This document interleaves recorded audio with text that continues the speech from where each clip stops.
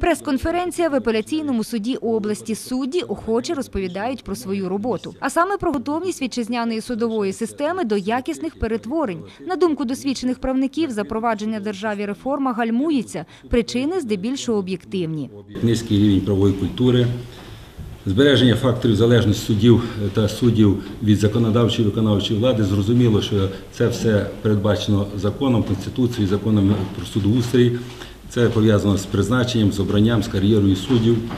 Недостатній рівень е, єдності, послідовності судової практики, низький рівень публічності сфери правосуддя. Подолати правовий нігілізм у суспільстві – ось один із головних чинників на шляху реформування судочинства в Україні. Судді впевнені насамперед, українців необхідно навчити дотримуватися власного законодавства. Відношення до права, скажімо, німця і українця.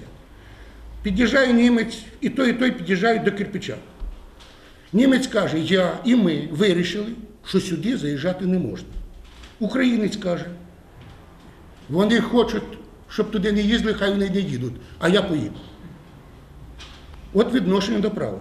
Судді розповіли, якість розгляду кримінальних справ місцевими судами Хмельниччини у 2014 році визнана найкращою в державі. З іншого боку, кількість справ і матеріалів кримінального судочинства в апеляційному суді краю збільшилася. Фінансування діяльності суду щороку скорочується. І ще один важливий чинник у реалізації реформи – подолання корупції у судовій системі. Щоправда, правники апеляційного суду краю впевнені, чутки про корупцію в судах надто перебільшені. Принаймні на теренах області за останні 25 років за хабарництво було засуджено лише двох місцевих суддів. Анна Михайловська, Юрій Чорний для інформаційного випуску.